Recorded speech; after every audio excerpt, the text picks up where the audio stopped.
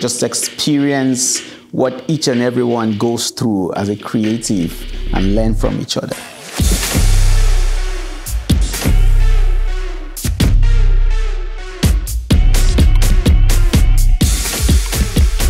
I think that's the first time that I've ever been approached by so many talented people at once.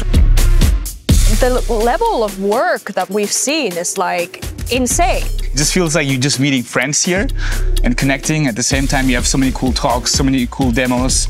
You learn a lot more while having fun. See everything that's out there and just get inspired. I mean, it's really cool. The space is amazing. Uh, it, the people seem like they're having a blast. It's a, it's a vibrant place. I get to meet Mr. Crash McCreery and just hang out with him, show him my weird personal project, and it was the best time. Definitely bucket list things happening here.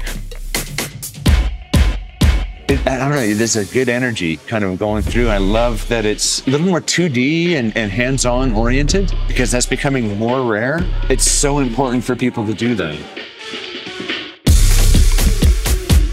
Compared to a lot of other festivals, it's just this nice, happy energy here at Playgrounds. It's just fun, it's upbeat. It feels kind of like a big community and family in some way.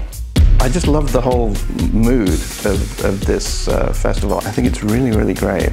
I am so jealous that I didn't have anything like this. You know, I'm old, so pre-internet era, how would you be exposed to this many different artists doing this many different things? It's incredible. Popping bottles nightly, yeah, we're dancing. Playgrounds is really one of the most awesome creative festivals you'll ever find.